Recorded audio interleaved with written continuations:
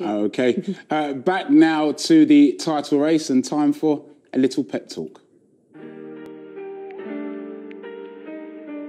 Always, I believe that the, the top clubs are, you know, in the beginning of the season to fight for the titles or win the titles. But in the same times, what I'm proud of most is the fact I arrive again after five seasons at the end of the season fighting for the titles. Always, I learned that in Barcelona when I have a, um, close friend, a physical trainer, said to me, the big clubs always have to arrive in April, May, fighting for the title. This is a success season.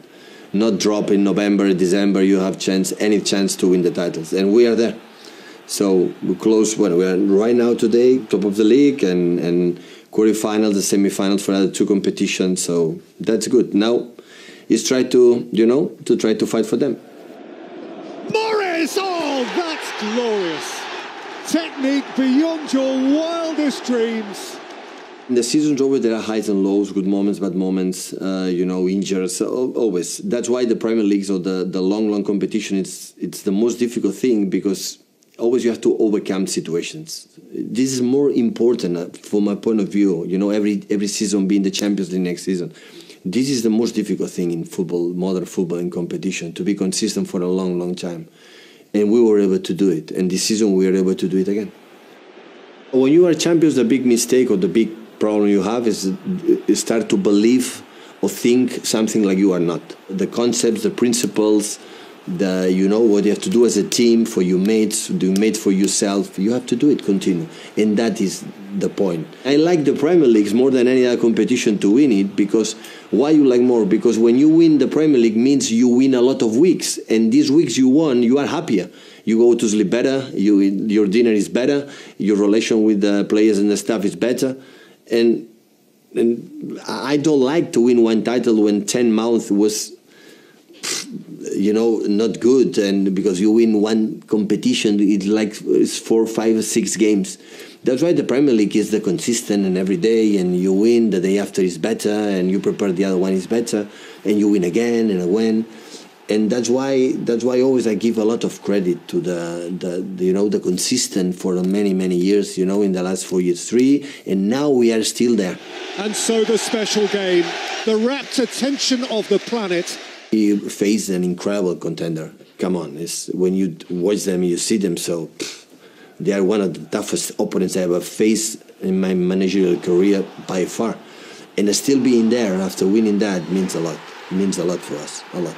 I love this game, and you know I like the competition. I like when. Uh, when we won, then someone chase you, you know, to beat you, and scary to lose, to disappoint the people like support me and I don't want to disappoint the players. I don't want to they feel uh, my decisions bad, and that make you you know think about it and do it, and adrenaline for the you know the grass, the green, the the the spectators, the crowd, the media. But in the same time, I admit it, I'm not the same like I arrive. But at the end, I arrive here to prove myself I could do it in England. I already done. I play against any team and I lose, but I win, and we do it. The titles are done. So what's next? And after I have to stop. And when they're going to finish, I will stop because I have to find a new challenge, a new, a new, a new situation. And but in that moment today, I'm not thinking about that because we we were nine months or eight nine months to arrive in this position, to arrive the last two, to try to you know to to, to win the titles. Pep Guardiola there, who's won what eight major trophies in the last four seasons. Not panic, is he? He's not, but could the Champions League now prove to be a bit of a distraction now, Don? Because we know how much he wants it. I don't think it will. Um, I know it's I know it's on his mind for sure, and it's on every mind of a Man City fan. I think the way he manages the team that he's got, the squad that he's got, he'll find solutions. He won't just play the same team.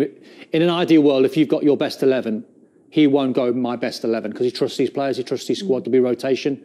Um, and I think he'll just look at individual games and say, that's my 11 for that game. Mm. He'll fast forward to a Champions League game and say, that's my 11. It'll be close. I don't think there'll be six, seven changes like Liverpool had against Watford, mm. uh, sorry, when they played in the Cup a couple of weeks back. Um, but I think, I think he'll rotate.